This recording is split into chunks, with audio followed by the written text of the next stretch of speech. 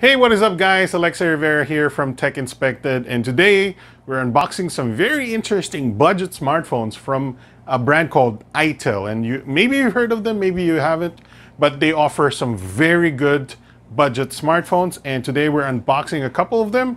One is the itel A56 and there is also the A56 Pro.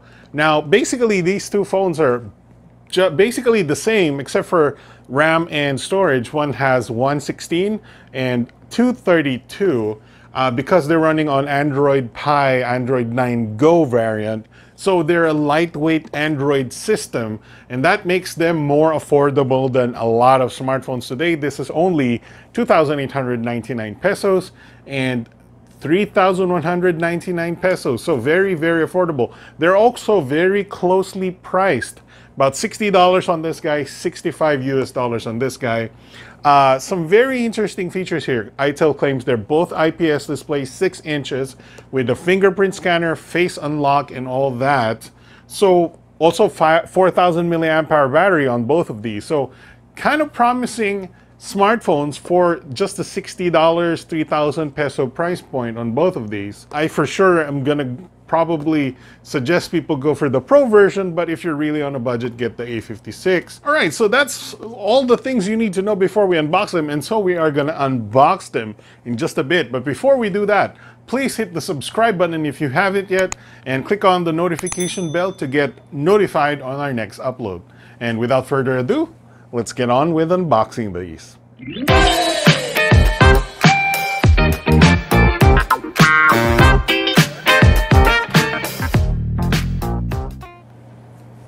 Alright guys, so here are the contents of the box of the A56 and A56 Pro. They're very similar actually. The only thing different is the stickers and the manual here. So A56 has the unit, headphones, charging cable, micro USB, uh, 5 amp charger, uh, ITEL warranty policy, quick start guide, and a nice solid case with a cool texture on it. A56 Pro has the unit, the case, same texture, uh, 56 Pro manual, warranty policy, 5 amp charger, micro USB cable, and headphones. So pretty much the same package except for the phones and the warranty, I mean the quick guide or quick, quick start guides. All right guys, so let's peel off the plastics on both of these devices. This is the A56. That's actually looking kind of nice. Let's turn it on. There we go. Boots up pretty quick too. And to peel off the A56 Pro. Very identical as you can see. Does have a pre-installed screen protector already. And uh, we'll put that over there. Similar designs on the back. It says ITEL, says ITEL designed by ITEL. We got a fingerprint scanner and uh, HD logo right there with a LED flash, two cameras on the back. And in front we have a speaker grill. What is that? A uh, LED flash in front? The screen until you hear a beep to enable accessibility mode. I think that's an LED flash in front. And then nothing on the chin. Power button is in the middle of the right side volume on the right as well. Let's check out the bottom here. We have micro USB port and pinhole microphone. Up top we have a headphone jack, very nice. And on the left, there's nothing. So very simple designs here and I don't really remember which one is the Pro and which one is the not Pro. So we'll find that out I'm gonna have to set this, these guys up and install some apps and then continue our unboxing and first impressions. Whew, okay guys, we are back and uh, actually a day has passed since we unboxed these from their uh, boxes and we have installed our apps and uh, removed some of the bloatware and uh, tested these guys out. So I do have some very good opinions about the A56 on my left and the A56 Pro. But before we get to that, let's take a look at the physical attributes of both of these devices. And you can see that they are very identical looking and they have a black matte back plastic finish, but it looks pretty nice and it feels pretty solid in the hand. In fact, let's just look at the A56 right here. You can see that there's no like, uh, you know, soft plastic here. There's a lot of, you know, it feels really nice and you can actually mistake this for metal back. You can see that there's a fingerprint scanner, two cameras, LED flash, uh, that is the probably the 8 megapixel and then a VGA secondary camera. In front we do have a uh, front-facing 5 megapixel camera and surprisingly a front-facing flash which we haven't seen in a while. Uh, in front we do have a 6-inch display. Uh, I can't tell if it's IPS or TFT but it is actually a pretty good display. There is a little bit of color shifting but not a lot and the viewing angles are pretty good. So I give this, eh, I'd say it a 4 out of 5 in terms of uh, display quality. It is not an HD screen, mind you. For this price point, I guess you can't expect that. This is a 960 by 480 display, a 6-inch display, and there's no notches or anything, uh, although it does have a little bit of a uh, round out cutout over there on the corners, which makes it nice and uh, futuristic or modern looking. So as I said before, matte back in the back, ITEL logo. The speaker is on the back, so you can muffle it by putting it on a table. Now, surprisingly, this thing has a removable back. Welcome to old schoolness. You surprised, surprised maybe, because this one was feeling pretty solid. So yes, both of them have removable backs. And as you can see, it is a triple slot back, but no removable battery. Uh, which is sort of expected, but also, I guess, kind of an interesting choice for this price point. Makes it feel solid and has triple slots without needing the, you know, SIM removal tool. So that's kind of a cool thing. Battery life on these guys are both 4000 milliamps and that gives it a little bit of heft and I guess the metal plate on the back where you see inside is actually making it a little bit solid so it feels really nice in the hand and a little bit weighty compared to other devices that I own. So let's take a look at the A56 right here. You can see that it is running on a relatively stock, except for no app drawer version of Android 9 Pie Go. And I do like it because it is relatively smooth. Even with just one gig of RAM, this thing is pretty smooth feeling. Uh, I gotta admit, you know, sending text or whatever, this is gonna be a pretty good uh, device. And uh, it even has the YouTube Go versions and whatnot. So I guess this will work a lot for people who just need the messaging, the YouTube Lite, the, for, the YouTube Go and Facebook Lite, and even have Spotify in there. Uh, it does have FM radio if you need it also. So there's a pretty good features for a one gig RAM device, and you can see that the user interface is running quite smoothly. Alright, so as far as Antutu score goes, as you can see, you can't expect much. The A56 gets 39528. The A56 Pro gets 42672. That's mainly because this has 2 gigs of RAM, so it's a little bit better when it comes to holding stuff in memory. Uh, so yeah, those are the Antutu scores. You can't expect much. This is running on a Spreadtrum SC7731E processor. Yes, exactly. That rolls off the tongue quite nicely. But it's a relatively, like I said, entry-level processor. You can't expect much from it, but we'll get to the gaming in a bit. Alright, so as you would expect from a budget smartphone, it does have bloatware, so expect a little bit of bloatware and a little bit of disabling, a little bit of uninstalling. You can see a little bit of the, uh, the taste of the bloatware right here as I took some screenshots of the bloatware. Here is what you would see in the applications when you boot this guy up. It does have uh, Boomplay, Palm Store, AHA Games, PHX Browser, Cortex Gaming, Tiles Hop, uh, and that's pretty much it for the bloatware. So it's not bad. I do did have to disable some of the applications and some of them were built into the ROM, so they were not uninstallable. But uh, in terms of bloatware, I'd say give this a, B plus. Not a lot of bloatware, just you know, doesn't just have a few apps. Alright, so both of these devices have fingerprint scanners and they're not the best, but they're decent, you do have to put your finger in there a little bit more, you know, with a little bit more pressure than usual. And you have to wait maybe one or two seconds before it activates. So uh, let's try them out right now. That one activated, this one did not. So I guess I pressed the, the finger a little bit differently there. So yeah, it does take a little bit of trial and error. It doesn't always do it perfectly, but eventually, I'm sure if you can program the fingers a little bit better, you can get that right. It also has face unlock, so we'll test that right now. There you go. Not bad for face unlock. Um, so yeah, I give that a pass. All right, so we're getting to the point where I do have to tell you the differences, what you should expect from the A56 and the A56 Pro. Now, I, like I mentioned, they do look very identical, but they do not support the same amount of apps or the caliber of apps. Uh, theoretically, you still can use them in the same ways, but the A56 Pro supports more apps because it has 2 gigs of RAM. So if you open the Google folder here, as I rearrange them so you can see, it does have uh, YouTube Go on the non-Pro variant, but you get the full version of YouTube on the Pro variant. Maps Go versus Maps, and such and such. It doesn't have uh, Google Drive, Play Movies and TV, and YouTube Music on this guy. I don't know if it's not supported or it's not pre-installed, but there you go. In terms of uh, other apps, I think they opted for the Facebook Lite here. I don't know if you can install full Facebook, but I do suggest using the Lite variant on the non-pro variant because it only has one gig of RAM.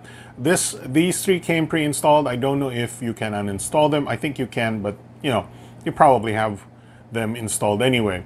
Now, as far as games is concerned, I managed to be able to run Mobile Legends and Subway Surfer on the non-pro variant.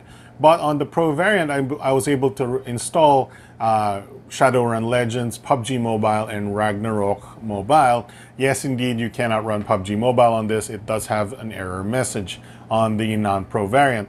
So if you're looking to play some games, you do want to get the Pro variant. If you want more Google uh, services that are more uh, the, the full variant, you should also get the Pro version of the A56. Now, this is not bad at all if you can play Mobile Legends and Subway Surf. And like I said, this is not a flagship processor. You can't expect a very high performance. And in games, there you know takes a little bit of time to load, um, and you might get bored of waiting for the load times. Subway Surfer loads pretty quick though, and I'm surprised Mobile Legends actually runs on the one gig of RAM. But there you go. I will show you the gaming capabilities in a bit, but there is the differences between 1 gig of RAM and 2 gigs of RAM. Alright, so a couple of last uh, little info before we go into the gaming bits. Both of these devices have only two touch points, so no like 10 point touch touchscreens, but two touch points is perfectly fine. I think the accuracy is decent. Uh, in terms of sensor box, we don't have a lot of sensors, no gyroscope here, so don't expect any gyroscope based games. And here's a bit of speed test between the two, which one loads faster. You can see it has a proximity sensor, surprisingly, and sound sensor, oh well, that's pretty standard, and accelerometer. No gyroscope, no orientation, no light sensor, and stuff like that. So I guess, you know, as you would expect from a budget phone. I'm still surprised how fast this thing sort of swipes around even in one with one gig of RAM. All right, so let's go ahead and play a game. All right, so with the A56, let's try and load Subway Surfer. I'm surprised how fast this loads, I guess, but you know, it's not instant.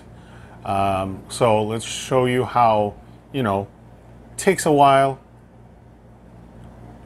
Expect more of this uh, in bigger, beefier games, even with the A56 Pro. And uh, even tried uh, Ragnarok Mobile on this, and it started to load, and then it crashed before it got to the game. However, on the A56 Pro, it did, did actually load. Lower the volume here. A little bit laggy on the buttons because it's running um, the game, taking up a little bit of a processor here. You know, I wouldn't call this not 30 FPS. I think it's pretty smooth.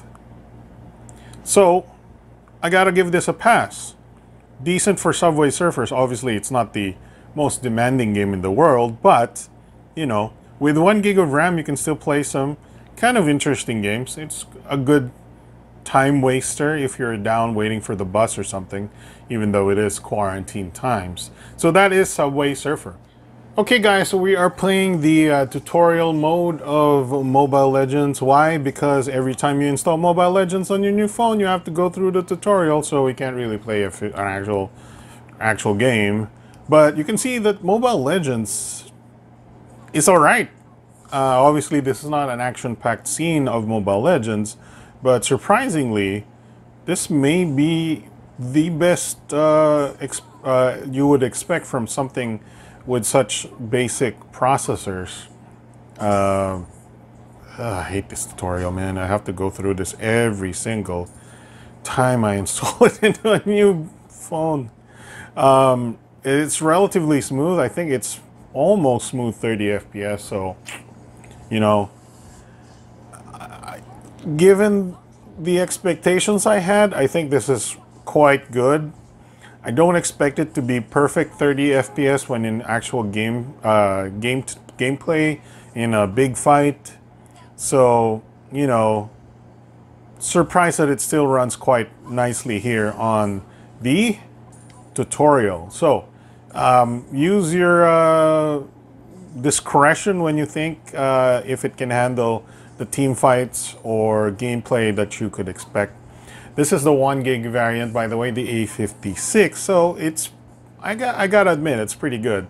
Um, that's relatively enjoyable for the tutorial.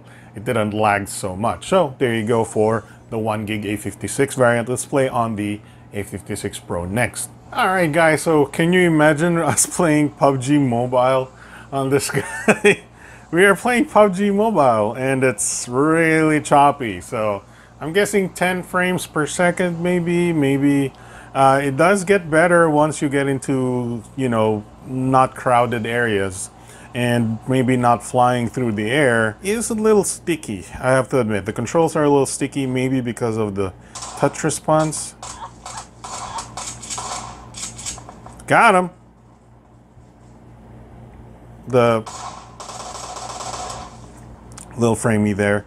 Uh, yeah, so maybe I'll play another minute. Where is this guy? Oh, there he is.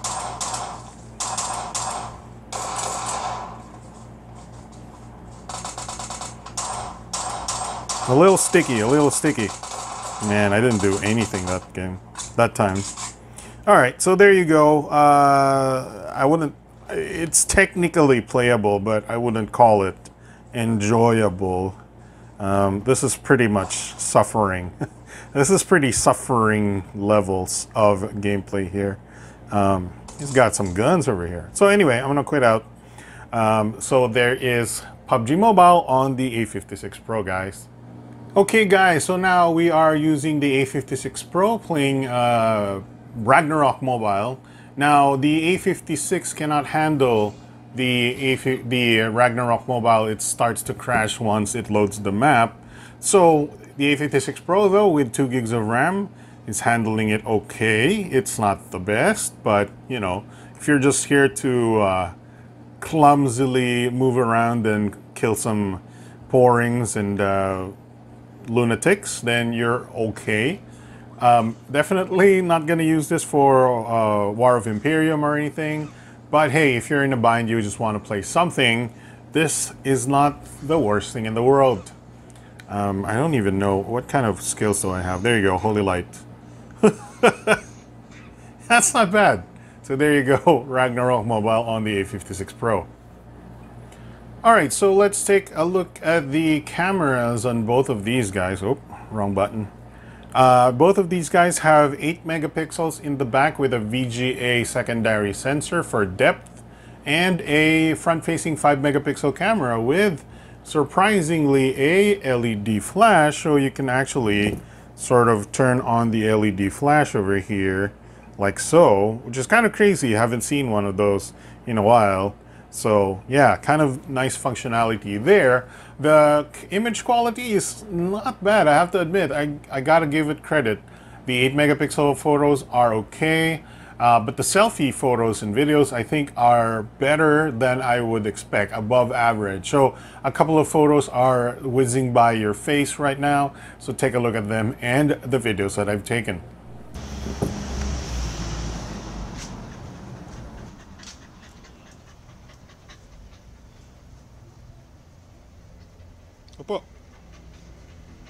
Opo. Jeb. Opo. Yay.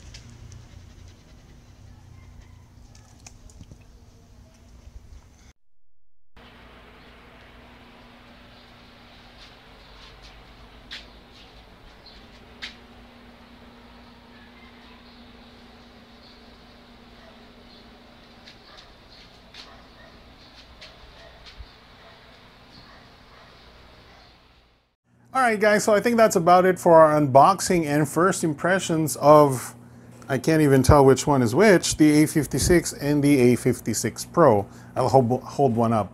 Uh, they're surprisingly decent value for money. I do like that it comes with complete accessories, the build quality is pretty good, the front-facing LED flash is good, the cameras are not bad, they're above average I have to admit.